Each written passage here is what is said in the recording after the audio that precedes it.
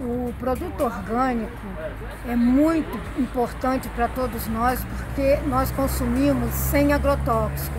Então, além dele nos proteger, proteger nossa saúde, ele também protege o planeta, porque a gente não está colocando é, veneno na terra. E com isso a gente está nos ajudando e ajudando o planeta.